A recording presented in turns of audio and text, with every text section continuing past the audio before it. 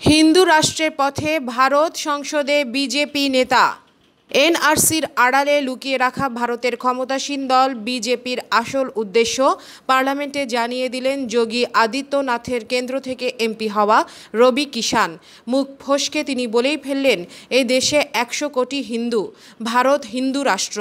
বিশ্বে অনেক ইসলামী ও খ্রিস্টান দেশ আছে, ফলে ভারতেরও নিজস্ব পরিচয় দরকার। আর এস এস প্রধান মোহন ভাগবত অক্টোবরের গোড়াতেই বলেছিলেন, ভারত হিন্দু রাষ্ট্র। যতক্ষণ একজনও ভারতকে মাতৃভূমি এবং নিজেকে হিন্দু বলে মনে করবেন, এই দেশ হিন্দু রাষ্ট্র থাকবে।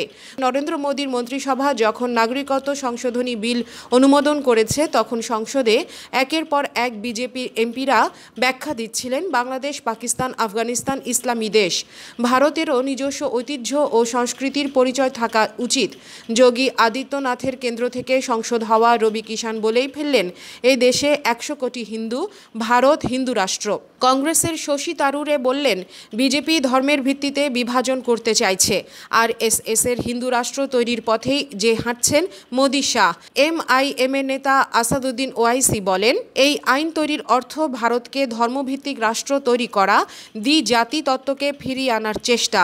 ভারতীয় মুসলিম হিসেবে জিন্নার এই তত্ত্ব খারিজ করি। নরেন্দ্র মোদীর নেতৃত্বাধীন ভারতের কেন্দ্রীয় সরকার মুসলিমদের রাষ্ট্রহীন করতে চায় বলে মন্তব্য করেছেন মজলিস এ ইত্তেহাদুল মুসলিমিন মিম প্রধান ব্যারিস্টার আসাদুদ্দিন ওআইসি এমপি। এক টেলিভিশন চ্যানেলে দেয়া সাক্ষাৎকারে তিনি ওই মন্তব্য করেন। ওআইসি কেন্দ্রীয় সরকারের প্রস্তাবিত নাগরিকত্ব সংশোধনী বিল, ক্যাব এবং জাতীয় নাগরিকপঞ্জি এনআরসি ইস্যুতে সরকারের তীব্র সমালোচনা করে বলেন, তার দল যে কোনোভাবেই হোক এর বিরোধিতা করবে এবং অন্যান্য দলকেও বিরোধিতা করার অনুরোধ করবে। ওআইসি বলেন, সংবিধানে নাগরিকত্বকে ধর্মের সাথে যুক্ত করা হয়নি। এই প্রথম এমন ঘটছে যখন বিজেপি সরকার তার আসল চেহারা দেখাচ্ছে। ওআইসি বলেন, প্রধানমন্ত্রী দেখিয়ে দিয়েছেন যে তিনি তার আদর্শ অনুসরণ করছেন। সংবিধানের নয়, এটি সংবিধানের চোদ্দ ও একুশ অনুচ্ছেদের সুস্পষ্ট লঙ্ঘন। ওআইসি বলেন, নাগরিকত্ব সংশোধনী বিলের পরে জাতীয় নাগরিকপঞ্জি এনআরসি আসবে। এর মধ্যে যারা মুসলিম নয়, তারা সকলেই নাগরিকত্ব পাবে এবং মুসলিমদের ডিটেনশন ক্যাম্পে পাঠানো হবে। মুসলিমদের দ্বিতীয় শ্রেণির নাগরিক নয়, বরং রাষ্ট্রহীন করতে চাচ্ছে। মোদী সরকার দেশকে বিভক্ত করার কাজ করছে। সংবিধানের প্রস্তাবনার উদ্ধৃতি দিয়ে ওআইসি বলেন, নাগরিকত্ব সংশোধনী বিল তৈরি করে সরকার ভারতকে ইসরায়েলের কাতারে দাঁড় করানোর চেষ্টা করছে। এর বিরোধিতা করা প্রত্যেকের দায়িত্ব, কারণ এটি সংবিধান নৈতিকতা ও আন্তর্জাতিক আইনের পরিপন্থী। আসামে এনআরসি বাস্তবায়িত হওয়া প্রসঙ্গে তিনি বলেন সেখানে মুসলিমদের টার্গেট করা হয়েছিল, এখন তাদের মামলা বিদেশি ট্রাইব্যুনালে ঝুলবে। তাদের ডিটেনশন ক্যাম্পে পাঠানো হবে।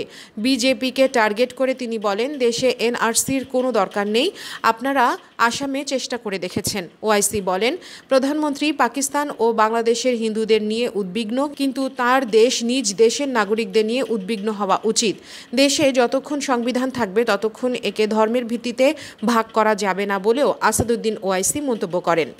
ভারত, প্রতিবেশী পাকিস্তান, বাংলাদেশ ও আফগানিস্তান থেকে যাওয়া অমুসলিম শরণার্থীদের নাগরিকত্ব দিতে আনা বিলে অনুমোদন দিয়েছে ভারতের কেন্দ্রীয় মন্ত্রিসভা। নাগরিকত্ব বিল বা সিএবি নামের এই বিলটি অনুমোদন দেওয়া হয়েছে। দেশটির গণমাধ্যম এনডিটিভির খবরে এমন তথ্য জানা গেছে।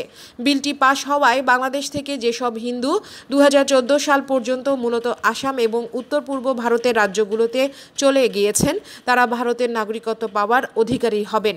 এই আইনের অধীনে প্রতিবেশী দেশগুলো থেকে আসা হিন্দু, খ্রিস্টান, শিখ, জৈন, বৌদ্ধ ও পার্সিদের নাগরিকত্ব দেয়া হবে। নির্দিষ্ট বৈশিষ্ট্যের অবৈধ অভিবাসীদের নাগরিকত্ব দিতে আইনি বাধা দূর করেই চলতি আইনে সংশোধন করে নতুন বিলটি উপস্থাপন করা হয়েছে। স্বরাষ্ট্রমন্ত্রী অমিত শাহ যখন বিলটি পার্লামেন্টে উপস্থাপন করবেন, তখন বিজেপির পার্লামেন্ট সদস্যদের সবাইকে উপস্থিত থাকতে বলা হয়েছে। আইনটিতে মুসলমানদের বাদ দেয়ায় তা ধর্মনিরপেক্ষ নীতির বিরোধী বলে সমালোচনা করেছেন বিরোধীরা। রাজনাথ সিং বলেন, প্রতিবেশী তিনটি দেশ মুসলমান সংখ্যাগরিষ্ঠ। সেখানে বসবাস করা অমুসলিমরা নির্যাতনের শিকার। এদিকে বিলটি পাশ হওয়ার সঙ্গে সঙ্গে কেন্দ্রীয় সরকারের বিরোধিতা শুরু করেছে উত্তর পূর্ব ভারতের রাজনৈতিক দলগুলো। এই বিতর্কিত বিল নিয়ে কেন্দ্রের সিদ্ধান্তের সমালোচনায় এনডিএ ছাড়ে আসামের রাজনৈতিক দল আসাম গণপরিষদ। এই আইনের কারণে নিজেদের ভূমিতে কোণঠাসা হয়ে পড়ার আশঙ্কায় প্রথম থেকেই আসামের জাতীয়তাবাদী দলগুলো এর বিরোধিতা করে আসছিল। তাদের মতে, এই বিলটি উনিশশো পঁচাশি সালের আসাম আর্গ বা আসাম চুক্তি বিরোধী। লোকসভায় পাশ হওয়া সংশোধিত বিলটির ফলে দু হাজার চোদ্দ সালের একত্রিশ ডিসেম্বরের আগ পর্যন্ত বাংলাদেশ, পাকিস্তান ও আফগানিস্তান থেকে নিপীড়নের শিকার হয়ে ভারতে পাড়ি জমানো হিন্দু, বৌদ্ধ, জৈন, পার্সি, শিখ ও খ্রিস্টান সম্প্রদায়ের লোকজন শরণার্থী হিসেবে ভারতে বসবাসের অধিকার ও পরবর্তীতে নাগরিকত্ব পাবেন। নাগরিকত্ব পাওয়া এই অভিবাসীদের সারা দেশে ভাগ করে দেওয়া হবে বলে সংসদে জানিয়েছেন ভারতের কেন্দ্রীয় স্বরাষ্ট্রমন্ত্রী রাজনাথ সিং। এই আইনটি উনিশশো পঞ্চান্ন সালের নাগরিকত্ব আইনের সংশোধিত রূপ। বর্তমানে আইনে ভারতে বারো বছর বসবাসের পর নাগরিকত্ব পাওয়ার নিয়ম থাকলেও নতুন আইনে তা কমিয়ে সাত বছর করা হয়েছে। এই সংশোধনী প্রস্তাবটি দু হাজার ষোলো সালে লোকসভায় উত্থাপন করা হলেও তখন তা অনুমোদন পায়নি। এদিকে বিলটিকে ভারতীয় সংবিধানের অসাম্প্রদায়িক চেতনার বিরোধী হিসেবে আখ্যায়িত করে এর বিরোধিতা করেছে কংগ্রেস ও তৃণমূল কংগ্রেস। তবে স্বরাষ্ট্রমন্ত্রী রাজনাথ বলেন, এই আইনটি সংবিধান বিরোধী নয়। এর ফলে প্রতিবেশী তিনটি দেশ থেকে নির্যাতনের শিকার সংখ্যালঘুরা ভারতে আশ্রয়ের সুযোগ পাবে। যেহেতু ভারত ছাড়া তাদের আর কোথাও যাওয়া জায়গা নেই। আইনটি ক্ষমতাসীন দলের সাম্প্রদায়িক এজেন্ডা বাস্তবায়নের প্রতিফলন হিসেবে চিহ্নিত করে অন্যান্যদের সাথে মুসলমানদেরকেও আইনে অন্তর্ভুক্ত করার জন্য সংসদে দাবি জানিয়েছে তৃণমূল কংগ্রেস। অপরদিকে নতুন নাগরিকত্ব আইনের বিরুদ্ধে তীব্র বিক্ষোভে ফেটে পড়েছে আসাম সহ ভারতের উত্তর পূর্বাঞ্চল। বিজেপির সঙ্গে রাজনৈতিক জোট থেকে বের হয়ে যাবার ঘোষণা দিয়েছে আসাম গণপরিষদ। আসামে স্থানীয় সংগঠনগুলোর ডাকে মঙ্গলবার অর্ধদিবস বন্ধ পালিত হয়েছে। ত্রিপুরায় আন্দোলনকারীদের সাথে সংঘর্ষে দুজন গুলিবিদ্ধ হওয়ার সংবাদ দিয়েছে স্থানীয় গণমাধ্যম। অভিবাসন বিরোধী সংগঠন আসাম গণপরিষদের সংগঠক অতুল বড় বেনারকে বলেন, এই বিলটি আইনে পরিণত হলে বর্তমানে অবৈধভাবে আসামে বসবাস করা দেড় লাখেরও বেশি বাংলাদেশি হিন্দু নাগরিকত্ব পাবে। আরও অসংখ্য বাঙালি হিন্দু আসামে প্রবেশ করবে। এর ফলে বাঙালি আগ্রাসনের মুখে আসামের মানুষজনের কর্মসংস্থান সহ সংস্কৃতিও মারাত্মকভাবে বিপন্ন হয়ে পড়বে। তিনি আরও বলেন, প্রত্যেক বাংলাদেশিকে আসাম ছাড়তে হবে। বাছাই করা কিছু লোকের জন্য আলাদা নিয়ম হতে পারে না। আমরা আসাম চুক্তি বাস্তবায়নে বদ্ধপরিকর যাতে বলা হয়েছে।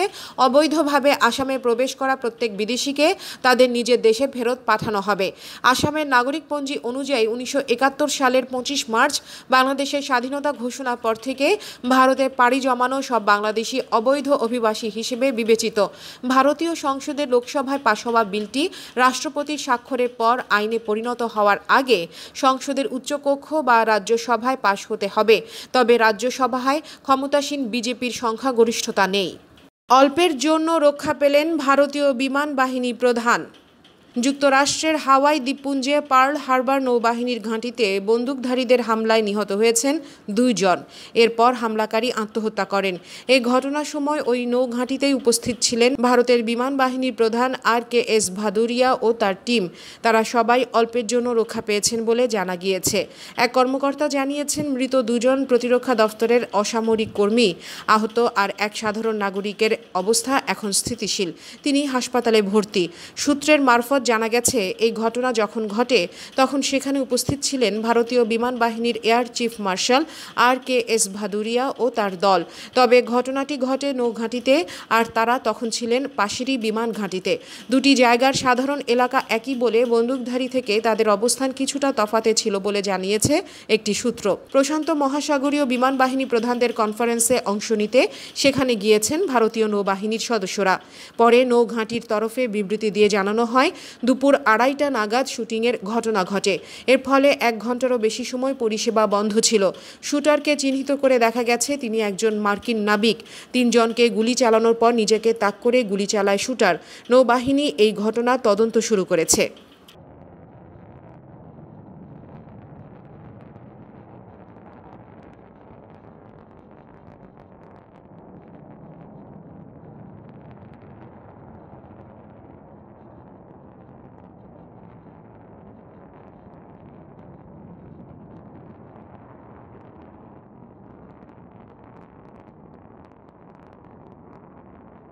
ডিয়ার ভিউয়ার্স আমাদের চ্যানেলের নিউজটি যদি আপনাদের ভালো লেগে থাকে, তবে আমাদের চ্যানেলকে সাবস্ক্রাইব করুন এবং আপনাদের বন্ধুদেরকেও সাবস্ক্রাইব করতে উৎসাহী করুন। নতুন নতুন নিউজ জানার জন্য আমাদের চ্যানেলের সাথেই থাকুন। ধন্যবাদ।